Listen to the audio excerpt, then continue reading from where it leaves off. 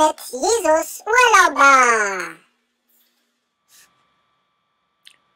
Guten Tag. Aus aktuellem Anlass möchte ich bitte gerade meine Gelegenheit nutzen, hier einen Status vorzulesen, den ich eben auf Facebook gepostet habe. 8513 Gedanken im Kopf. Inspiriert von Sonmi 451 aus dem Film Cloud Atlas. Wir alle bilden von jeher ein Ganzes, ob uns das bewusst ist oder auch nicht. Deswegen gehören unsere Leben von der Wiege bis ins Grab, nicht uns allein. Sie gehören zusammen. Sie gehören in gewisser Weise sich selbst. Es sind nicht unsere. Und sie sind ein Geschenk der Natur, des Universums, Gottes. Sie ermöglichen uns ein Erleben. Doch ausschließlich, weil sie unbedingt miteinander verbunden sind, können wir das tun. Aus dieser Erkenntnis wächst eine übermenschliche Stärke. Und wie Spider-Mans Onkel schon sagte, wächst daraus Verantwortung. Eine Verantwortung allerdings, die schon immer da war.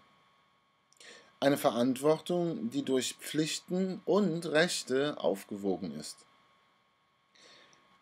Eine Verantwortung, vor der man sich nicht drücken kann. Man kann so tun, als könne man es. Das heißt aber nicht, dass man es kann.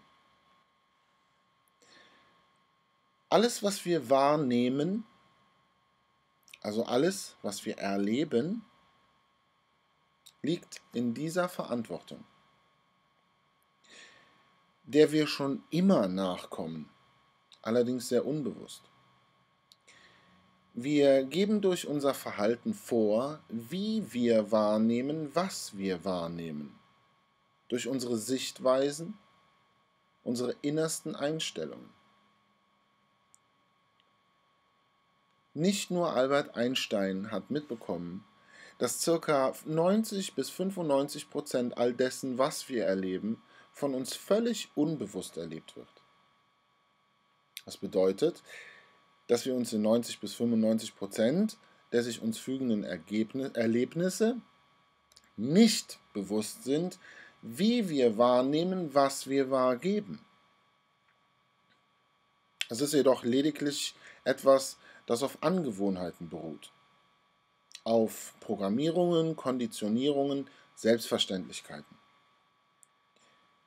Und genau hier können wir etwas sehen, was das Dilemma schnell löst. Eine Angewohnheit des Homo sapiens ist, etwas anderes zu sagen, als er wirklich denkt. Also, etwas anderes wahrzugeben, als er wirklich wahrnimmt. Nochmal lesen, weil es der Knackpunkt ist, steht hier. Eine Angewohnheit des Homo sapiens ist, etwas anderes zu sagen, als er wirklich denkt. Also etwas anderes wahrzugeben, als er wirklich wahrnimmt. Und wenn man das sieht in sich selbst, ändert sich das.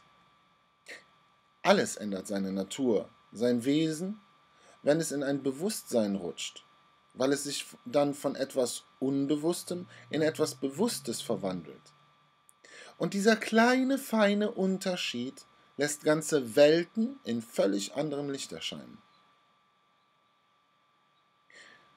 Und dann fängt ganz automatisch das Unausweichliche an zu wirken.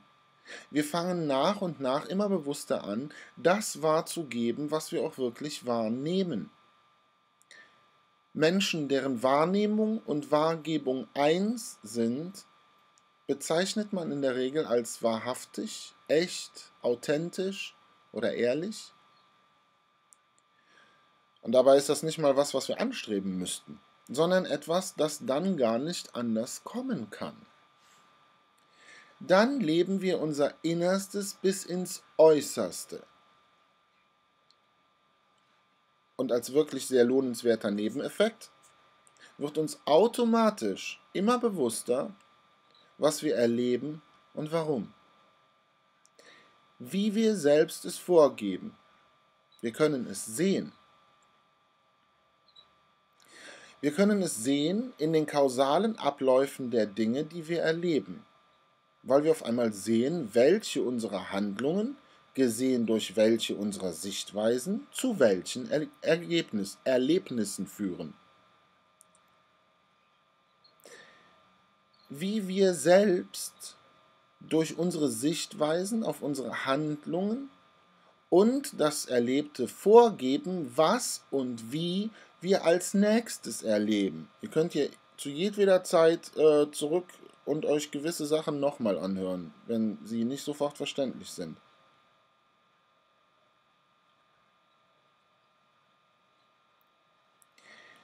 Und so passiert das, was schon lange in jedermanns Munde ist. Das globale Bewusstsein erwacht. Und das tut es bereits überall um uns herum.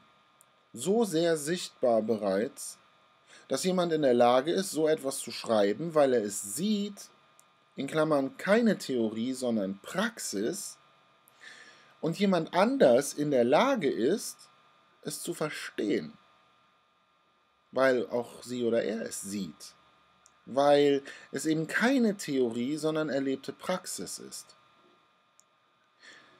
Dieser Status ist eine Ode an das Bewusstsein selbst. Ich mache es etwas theatralisch, meine es aber durchaus ernst. Ich grüße dich, du Sonne des Lebens, dich Bewusstsein, durch das alles anders wird. In allen nur erdenklichen Zeiten. Ich liebe